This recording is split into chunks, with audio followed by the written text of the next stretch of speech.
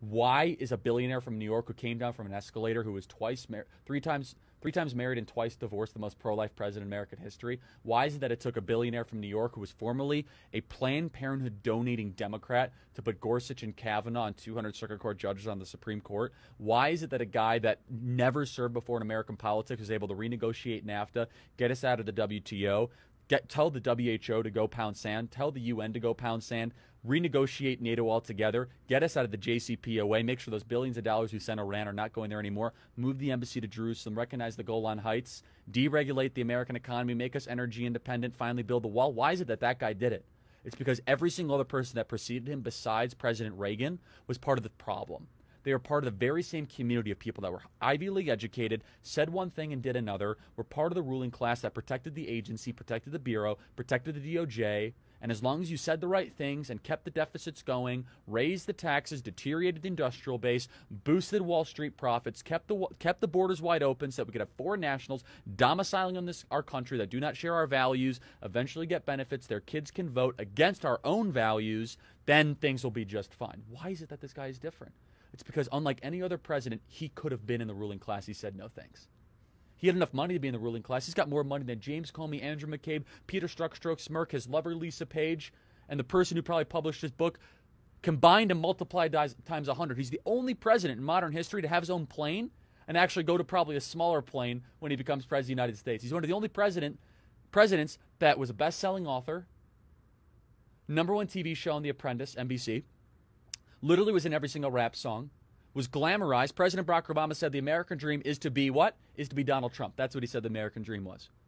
Why is it that this guy's all of a sudden the populist hero? He's supposed to be part of the ruling class. It's because he's a defector from it. It's because he was in the dinners, he was in the cocktail parties, he heard the language, he heard the contempt that the ruling class, the Wall Street financiers, the Washington, D.C. lobbyists, and the Silicon Valley elites that he had to be around. He knew the contempt that they had for the plumber, electrician, the carpenter, the bricklayer, and the person building the very same building that he was financing. So he took the Wollman Rink mentality, the philosophy that built that Wollman Rink quicker and better than anyone could have imagined, despite the New York City bureaucracy and the, the municipal burdensome rules and he said, I'm going to bring this to Washington, D.C., and I'm actually going to do something a politician has never done before. I'm going to tell you the truth, no matter how brutal and honest it is, I'm going to do what I say I'm going to do. From the time he went down the escalator, he was the only person running for office that talked about China immigration, the two issues that are most affecting our country now. How was this possible? Because he listened to the very people the ruling class hated. He would walk a job site and he would ask them, what, what's on your mind? He says, Man, I'm really worried that we're getting taken over by China. I'm really worried that we're getting too many people in this country. I'm worried I can't pay for health care. He internalized. That's what a populist is. Someone who listens to the people. So what makes President Trump different? This is a president who didn't need his job. He's the only president in American history who's going to be poorer after becoming president than before. He's not going to sign a book deal big enough to possibly make up for the gains. His son, investigated by every single authority imaginable, from Bob Mueller to the House Intelligence Committee to Adam Schiff to the Federal Bureau of Investigation, after being set up for that very same meeting.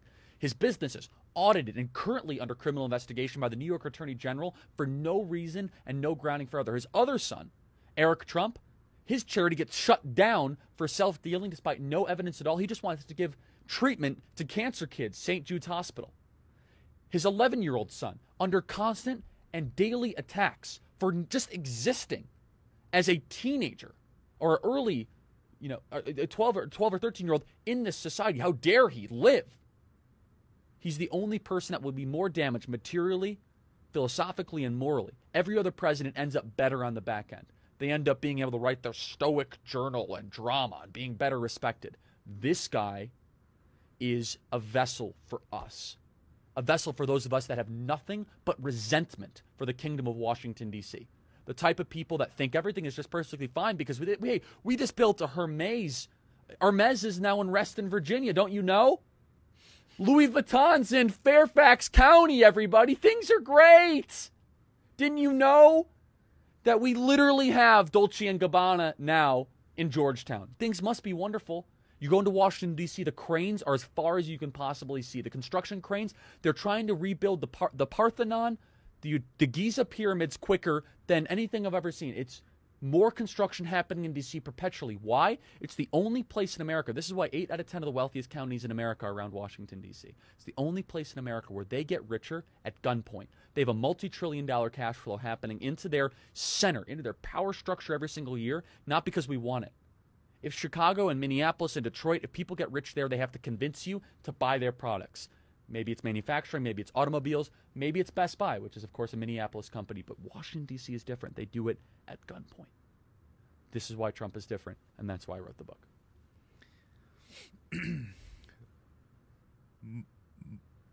market, market, ladies and gentlemen, you will not hear a better argument for the President of the United States than that two and a half minutes right there. Cut it, mark it, drop it in. Are you a leftist? Are you communist? Are you Marxist? Are you super right wing? Doesn't matter. You can't disagree with that. That is the best argument you will ever hear, condensed, distilled like a like a proof alcohol into why Charlie Kirk believes in this president. And so if you're looking, look no further. That two minute clip right there. Well, thank Cut you. it. Email us freedom at charliekirk.com. Here's one for you. Thank you, Benny.